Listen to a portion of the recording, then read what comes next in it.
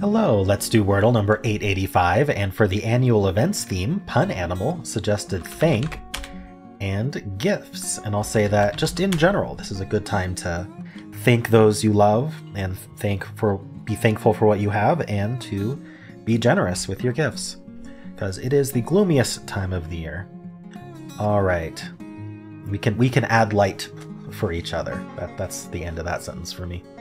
Now, IAN, my I keep wanting to say giant, but there's no G and there's no T, so definitely not giant. So what is it?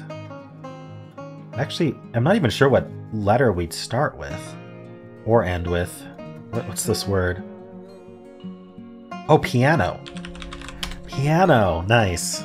Yeah, I think that's all there was, honestly. Let me know if you saw anything else. Another three. Wow. I'm getting a lot of threes lately, and no yellows. So thank thank you for the gift of those three greens that limited me to one answer only. Um, I believe. cool. All right. Well, let's spin the wheel of themes and see what tomorrow brings us. All right, we were just talking about how it's winter. Um, so a seasons theme suggested by Star Group 6665. Um, just missed the mark. Almost got 6666.